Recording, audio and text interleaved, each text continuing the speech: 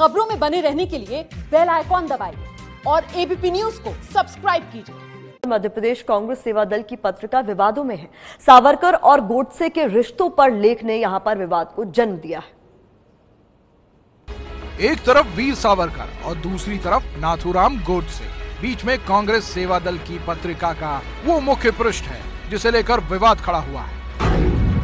दरअसल पत्रिका में सावरकर और नाथुराम गोडसे के रिश्तों को लेकर टिप्पणी की गई है। इस टिप्पणी पर बीजेपी ने ऐतराज जताया है। बीजेपी ने इसे सावरकर का अपमान कहा है। सैकड़ों कांग्रेस पैदा हो जाए तो भी सावरकर की चित्र के बराबर भी नहीं हो सकती। ये कांग्रेस की सरासर बदतमीजी है। तंदूर में जलाने वाली कांग्रेस दूसरों पर इस तरह का हमला करती है।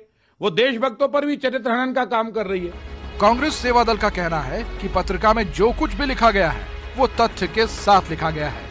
जनता के साथ, इस देश की आत्मा के साथ जो पिछले कई सालों से एक धोखाधड़ी हो रही है, उस धोखाधड़ी को हम एक्सपोज करना चाहते हैं और सत्य जो है समाज के सामने रखना चाहते हैं और बाद में खुद इसको पढ़ने वाला तय करें।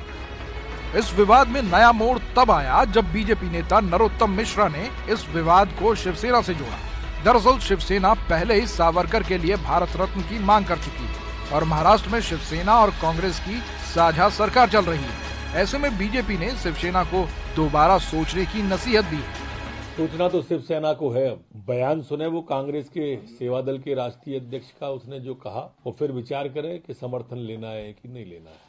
सत्ता की लिप्सा भी इतनी न हो कि हमारे जो आस्था है, वो खंडित हो जाए, हमारे जो मूल्य है, वो विभाजित हो जाए। और इसके बाद भी अगर शिवसेना इनके साथ रहती है तो विचारणीय बिंदु यहीं से प्रारंभ होगा।